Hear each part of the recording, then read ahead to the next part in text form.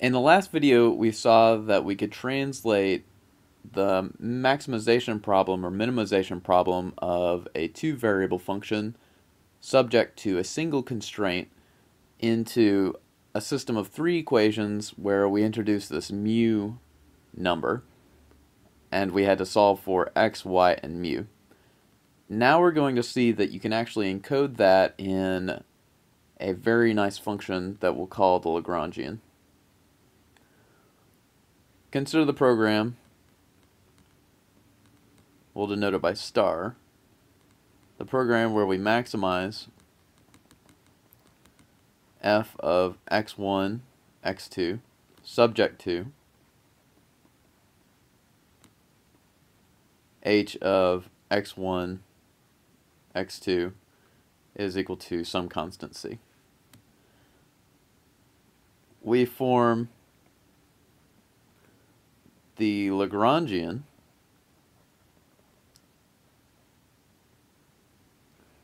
Of star.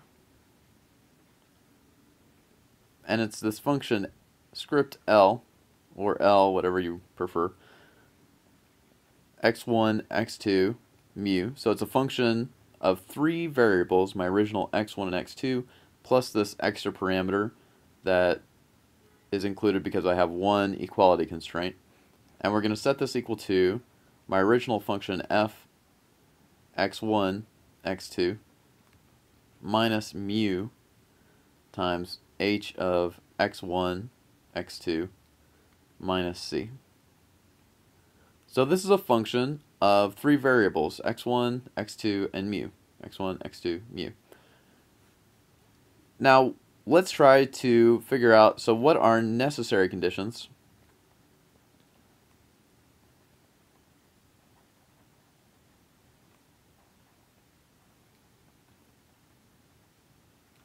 for optimizing L. And notice that we no longer have any constraints. We just want to optimize this functions this thing right? Well we have to have that all the partial derivatives of L are equal to zero at, a, at the maximum right? So at a optimal point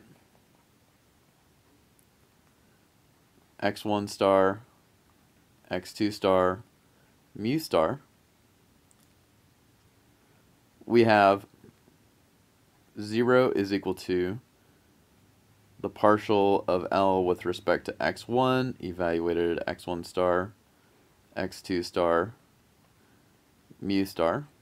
But what's that equal to? Well, I just pass the partial into these guys, and what do I get? I get d f dx1, x1, x2, minus mu dh dx1, x1, x2.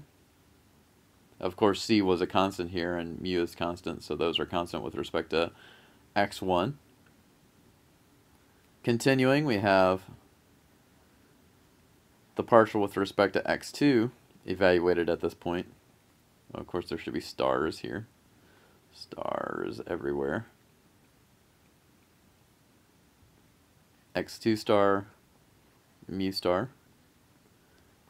Again, we'll have df, dx1, or now it's x2, rather. x1 star, x2 star, minus mu star, dh, dx1 of x1 star, x2 star. And then our last thing is the partial with respect to mu.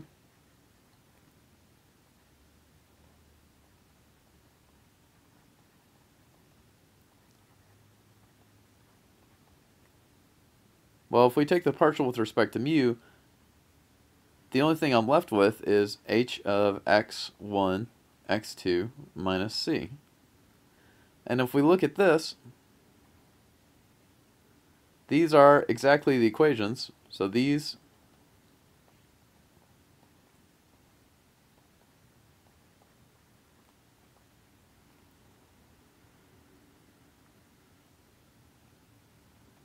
that we found last time.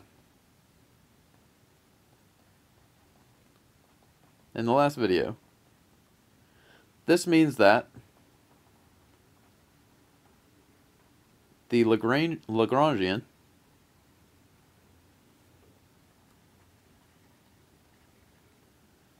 Encodes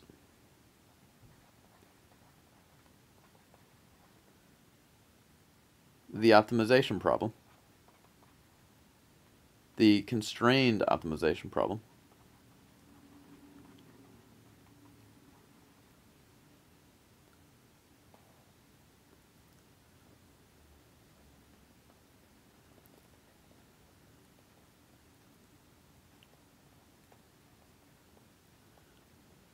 The important takeaway here is that the Lagrangian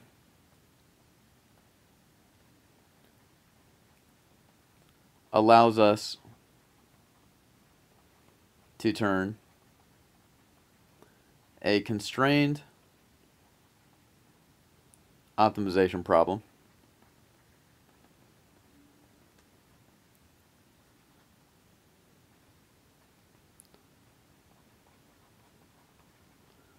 into an unconstrained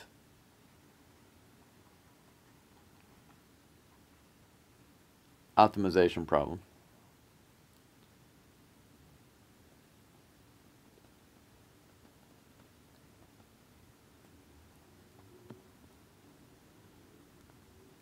This is magic, seemingly. But it's not for free. There's a big caveat here. There's a huge caveat that you have to that you must note. So important warning.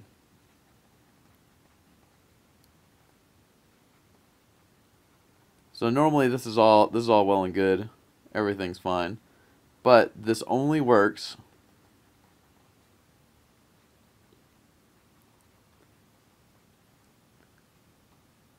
if the constraint qualification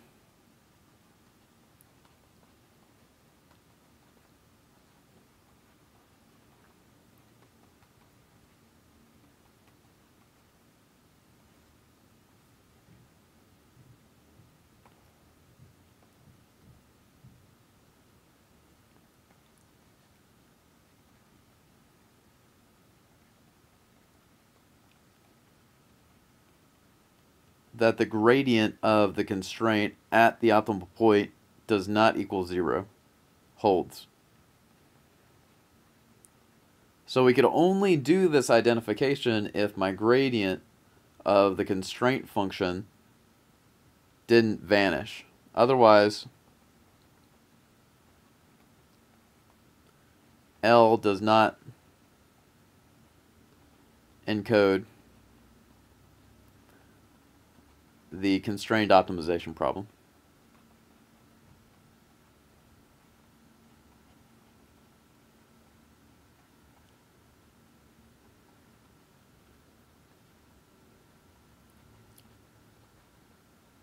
In the next video, we're going to actually go through an example where we use this Lagrangian explicitly, and we'll go through the steps to show you exactly how to apply it.